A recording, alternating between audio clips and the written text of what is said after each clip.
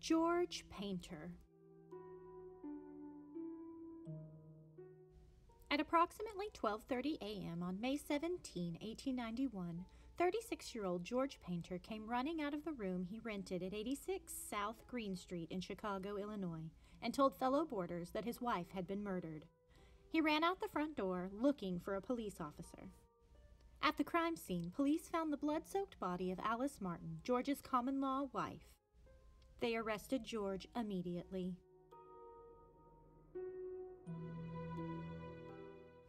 After the death of his first wife, George met Alice in Chicago. After living together for a year and a half, George discovered that Alice was cheating on him. The couple reconciled, but George began to abuse alcohol. Neighbors told reporters that George beat Alice and that she seemed too good for him.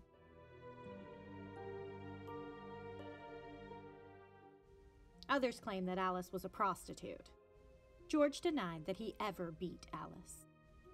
On the night of Alice's murder, George claimed to have been at Schiller's saloon until it closed at 12 a.m. and adamantly denied killing Alice. The police interrogated him and were about to let him go when Captain Martin Hayes noticed some blood on George's overcoat. George was found guilty and sentenced to death by hanging. No murder weapon was ever found, so police assumed that she was strangled and her head was beaten against the bedpost until she was dead.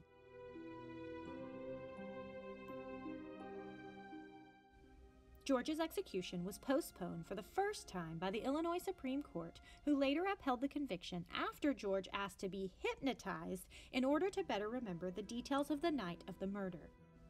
George's execution was postponed again on January 11 so that his lawyers could continue to prove his innocence. This came after several prominent members of the community petitioned the governor.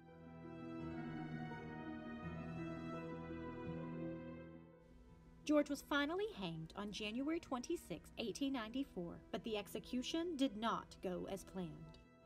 George's hands were handcuffed behind his back and his legs were strapped together at the thighs and ankles. A white robe and hood were placed over his clothes and the noose was fastened around George's neck. The trapdoor was opened and George's body began to fall. When the rope fully extended, it snapped, throwing George off the platform and onto the ground in front of the witnesses.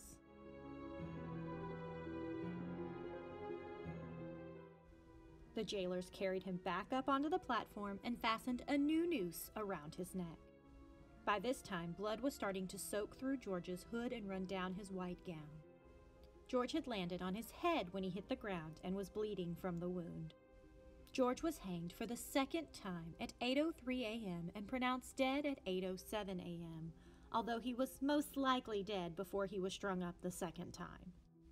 After the botched execution, the jailer told a reporter that they had tested the rope the night before with a 200 pound sandbag.